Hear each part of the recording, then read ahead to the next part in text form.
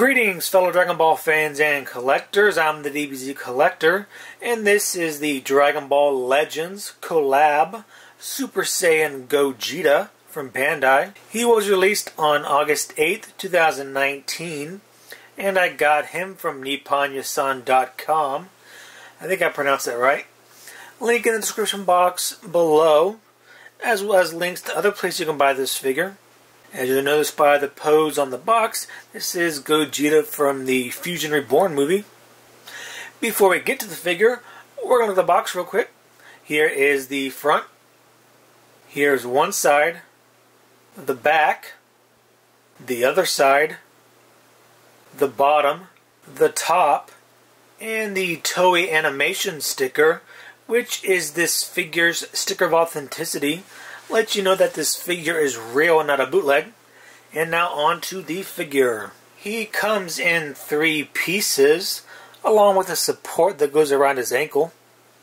You got his legs, his upper body, and his halo.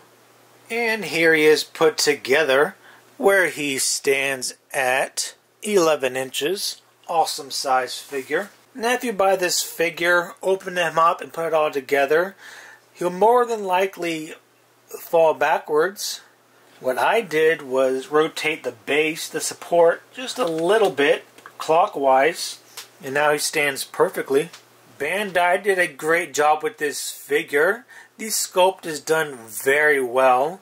And I love that they have him in his Stardust Breaker pose, getting ready to launch his final blast at Janemba ending the fight once and for all.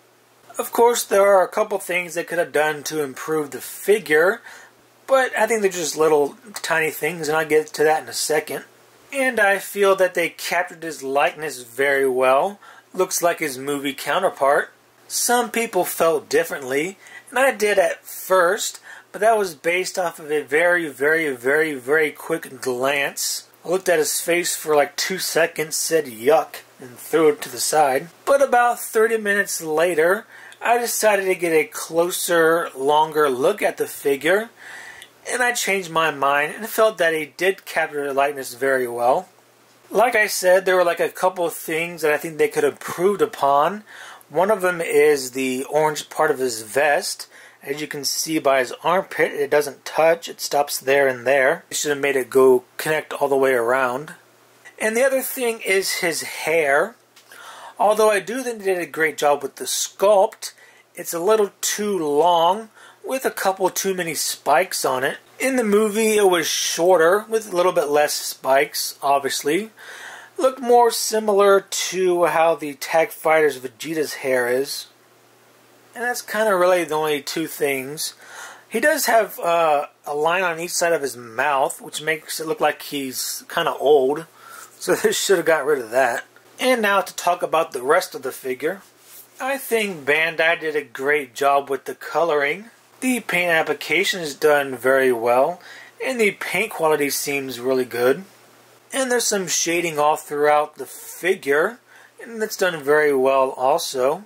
And once again, they skimped out on the shading on the back of the figure, except for some of it on his arms and his vest and hair come around, but the rest pretty much stops on the side. Oh, and one thing that might turn you off on this figure is once again they made his pants hollow. I prefer them to be solid, but being hollow does not bother me. I'm not a huge fan of the purple shading on the belt. I think it looks cool, but you know, the rest of his belt up top and the sash around his ankles don't have purple in them. So it doesn't make sense to do it on this figure. So actually that's kind of my biggest complaint. Looks cool, but compared to the rest of the blue, it just throws it off. One thing that threw me off on this figure was the darkness of his torso compared to his arms and face. But I can kind of explain it away. Being in this pose, we know he's charging up his Stardust Breaker attack, getting ready to throw it at Janemba. And as we know, there's always a light source in energy attack. And because his arm is closer to his hand than his torso is, his arm would be lighter from the energy source of the ball compared to his torso. Plus, the vest is casting a shadow, blocking the light. Therefore, his torso would be darker than his arm and face.